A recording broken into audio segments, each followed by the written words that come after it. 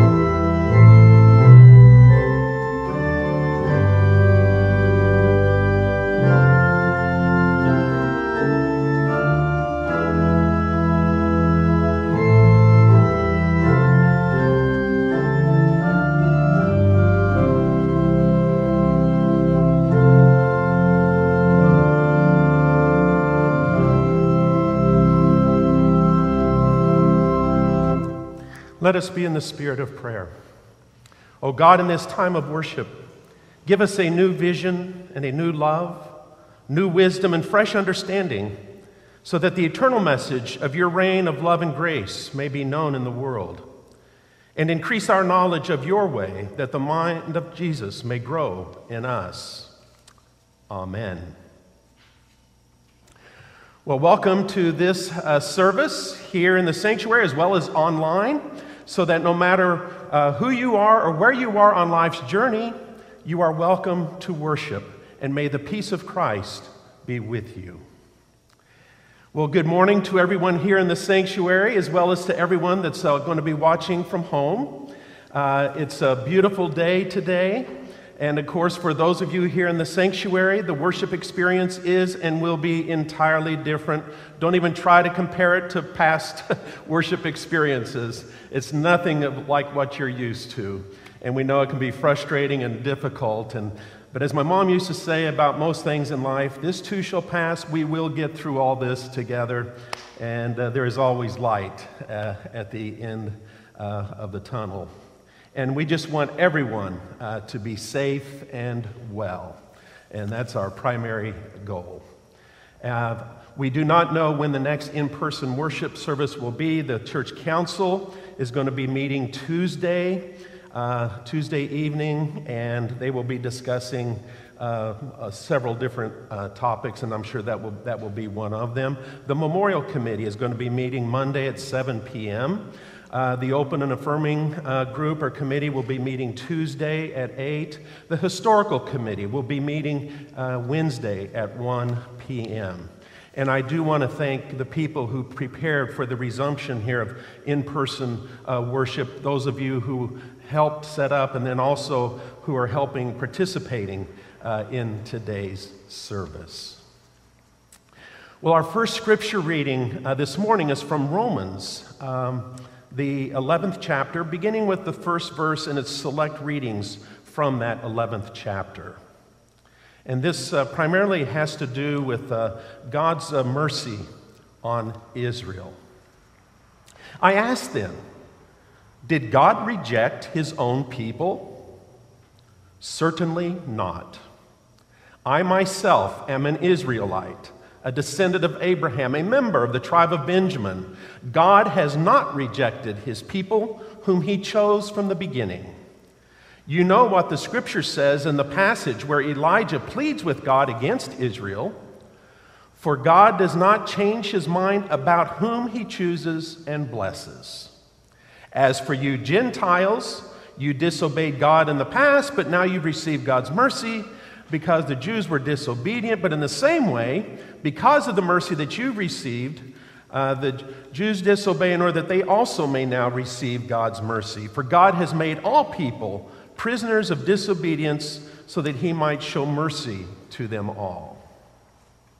And our next reading is found in the Gospel according to Matthew, the 15th chapter, verses 21 through 28. And this passage primarily deals with a woman's faith. Well, Jesus left that place and went off to the territory near the cities of Tyre and Sidon. Now, a Canaanite woman who lived in that region came to him. Son of David, she cried out, have mercy on me, sir. My daughter has a demon and is in a terrible condition. But Jesus did not say a word to her. So his disciples came to him and begged him, Send her away. She's following us and making all this noise. And then Jesus replied, I have been sent only to the lost sheep of the people of Israel. And at this, the woman came and fell at his feet. Help me, sir, she said.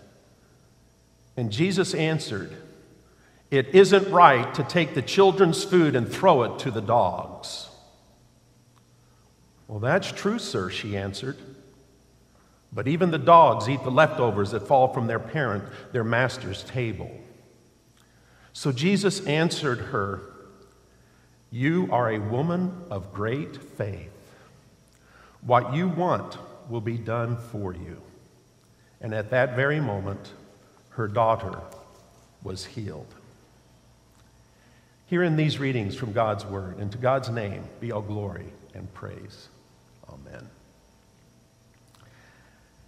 Have you ever wanted to apologize for someone's actions? Perhaps someone that you were with embarrassed you by their actions and I don't know in front of another person or group? It's only natural to apologize, to make excuses for that person. Well, this is, a, this is exactly what many preachers want to do when they preach this particular passage from the Gospel according to Matthew. We find ourselves trying to make amends, excuses for Jesus' harsh response to the Canaanite woman. Elizabeth Barrett Browning wrote, God answers sharp and sudden on some prayer and thrusts the thing we have prayed for in our face, a gauntlet with a gift in it. Well, a long time ago, throwing down the gauntlet simply meant that a person was challenging someone to combat. Well, this woman from Canaan wound up challenging Jesus. Here he was. He's withdrawing to a quiet place. He wants to meditate. And he's now beset by this woman, a Canaanite. Today, we would call her a Palestinian. She was a member of Israel's ancient enemy. It must have taken a whole lot of courage and desperation on her part to barge in encounter and engage a group of men considered to be the enemy. And the woman throws the gauntlet down at Jesus' feet. This woman who sought out Jesus to heal her daughter. Nothing happens. She even addresses Jesus as Lord and Son of David, which were messianic titles. Here is a female outsider, an enemy, referring to Jesus in a way that not even Jesus' disciples had done. And Jesus' response to the woman is to ignore her. But she doesn't give up. She goes to work on the disciples, and soon they come to Jesus telling him, Hey, get her off our backs. And eventually, Jesus says to her and says, I don't know, kind of proudly, I was sent only to the lost sheep of the house of Israel. But that doesn't stop her either. If faith means persistence, then this woman is a model of faith. This time, she gets right in front of him and says, Lord, help me. And Jesus' third response is the most disturbing and upsetting. Jesus responds to the woman by saying, It's not right to take the food for the children of Israel and throw it to the dogs of Canaan. Whoa. Jesus appears to put her lower on the hierarchy or chain of being than the Israelites, the children of Israel. Now, some commentators want to interpret his comment in a way that softens or excuses what he said. but he used a racial slur that most Jewish people in that day would have used. Since when did we ever think of Jesus as all sweetness and light? But amazingly, amazingly, she challenges his assumptions. She seems to be the only person in the Gospels to actually win a debate with Jesus. She says, Yes, sir, but even the dogs eat the crumbs that fall from their master's table. And Jesus could only respond with this tremendous affirmation O woman, great is your faith. What you want will be done for you. And her daughter was healed instantly. So this woman took up the challenge that Jesus had thrown back at her and says, That is true, sir. But even the dogs eat the leftovers that fall from the master's table. And she found what Jesus had wanted her to find all the while a gauntlet with a gift in it. But what does this story what does this story tell us about ourselves? What does it tell us about God? Well, first of all, the Canaanite woman is a model of faith and perseverance. And if we are persistent and courageous enough, we too might experience God's yes, the gift in the gauntlet. I mean, I think of women in history who have shown, who've shown such faith and perseverance. Women like Sojourner Truth, Harriet Tubman, Susan B. Anthony, Rosa Parks, Malala, and numerous others.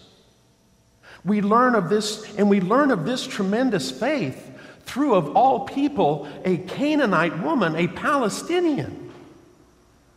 So we also learn the, the importance of the crossing of barriers. And Jesus would spend his life in ministry breaking down barriers and walls that the people had erected to separate themselves from others.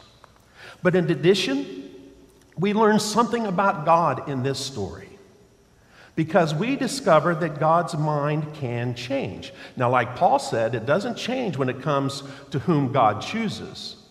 And he says God did choose the Jewish people and will never revoke that. So, but we do here discover that God's mind can change on other things. And this is not the first time in the Bible that God's mind has changed. Do you remember the story of the Exodus? You know, God liberates the people from slavery in Egypt. Well, they're, they're out in the, they've crossed the Red Sea, they're out in the wilderness, and they're complaining. It's miserable out there in the wilderness, so they complain to Moses about the lack of food. God sends manna or bread from heaven, but the people continue to complain. And finally, God has had enough. Says, That is it. Moses intercedes and pleads on their behalf. Moses reminds God that it would be wise it would not be wise to destroy God's chosen people. And God listens to Moses and is convinced by Moses' argument. So God changes God's mind. And the story ends by saying that God repented of the evil that God had intended to do to Israel. Well, if God's mind can change, what about our minds? Now, my wife Cynthia would say, Bruce, I wish you would just make up your mind on certain things. But if Moses, if Moses can talk God out of a, out of a position, and if a Palestinian woman can get Jesus to change his mind, isn't it okay for us to change our minds? I mean, think about it. This means we can admit it when we make mistakes. This means we can take a look at positions we hold or stances we take and perhaps change our views. I mean, I hope we're all growing uh, as human beings, and to grow as a human being means that our views are probably going to change over time. To grow in faith means the same. I mean, our faith evolves or develops just as other areas of our lives do. This is why we have adult Christian education classes or Bible studies. You know, in recent months, people have had to take a look at across the country, uh, have had to take a look at and or consider the issue of race and racism. Jesus was challenged by a Palestinian woman, and out of that encounter, he had to take a look at prejudice that he had learned in his life. If Jesus had such a view, might we as well? You, I'm sure some of you perhaps remember the, the Broadway hit, the 1947 Broadway hit, uh, South Pacific by Rodgers and Hammerstein. And uh, it's one of the songs in that, in that uh, musical. And it's about prejudice. Now, I'm not going to sing it, we don't sing, but you've got to be taught to hate, to fear. You've got to be taught from year to year. It's got to be drummed into your dear little ear. You've got to be carefully taught. Well, up to 98% of our thoughts are unconscious or subconscious. They happen in the neural circuitry, which we cannot possibly be aware of. Therefore, everyone will carry around, I don't know, a bias or prejudice, some kind that we've been taught. Each one of us has probably considered some person or a group to be less than or not as worthy as ourselves. But is there anything, is there anything in this story that would free us up to looking at things, some of those things we've been carefully taught and which may not be true or good? I mean, who are the Canaanite dogs in our thinking or worldview? Are there people we might have a hard time sharing a meal or a pew with? Are there any things, attitudes, biases, whatever, that we need to let go of? Well, this story of Jesus and the Canaanite woman invites us to consider the importance of faith and perseverance to not let barriers of any kind to prevent us from reaching out to and loving others, to see that it's okay and perhaps even necessary to change one's mind from time to time. And finally, to look at any biases or prejudices we might have or people we have a difficult time accepting.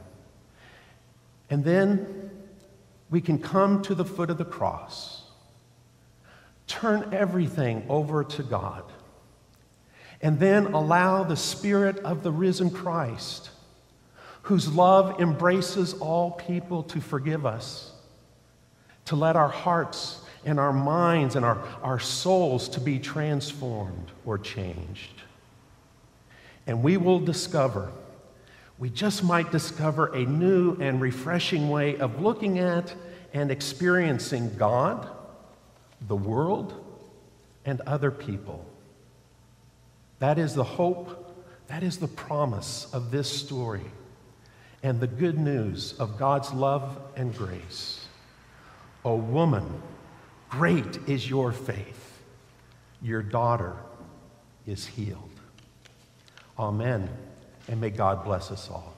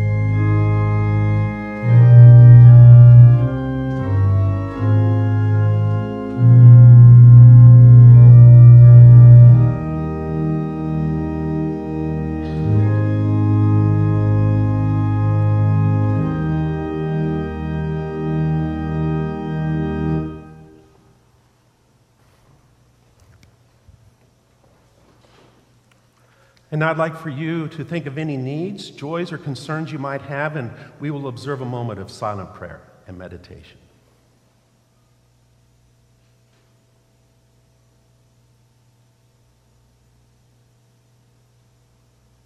Oh God, we pray for your guidance as we face the perplexities of the world. Every day we are face to face with new challenges, and we pray that you will, through other people in the church, Nurture us in our spiritual pilgrimage. We praise you for the message of the gift of your unmerited and limitless love. And today, oh God, we pray for all those who are experiencing illness of any kind. We pray that you will renew their strength and comfort them. And we say a special prayer for nurses and doctors and other healthcare workers. Throughout different parts of this country and world, many of them are feeling overwhelmed right now. Please give them strength and endurance even as we pray for their safety and well being. And we pray for your entire creation, God. Help us to care for all that you have given us. And fill us with a spirit of generosity and a sense of security that we may be free of fear and filled with your spirit of abundance and sufficiency. And give us joy and laughter to share with one another, as well as food and safety and justice. And, O God of all creation, even as we worship in separate places and at different times, we pray that you would bind us together into one human family and help us, the body of Christ, to love and serve the world and all peoples. O oh God, you have indeed created us all, and we give you our honor and our praise. And now we offer these prayers using the words that Jesus taught his first disciples. And I will now say the Lord's Prayer. Our Father, who art in heaven, hallowed be thy name. Thy kingdom come, thy will be done, on earth as it is in heaven. Give us this day our daily bread, and forgive us our debts as we forgive our debtors. And lead us not into temptation, but deliver us from evil. For thine is the kingdom, the power, and the glory forever. Amen.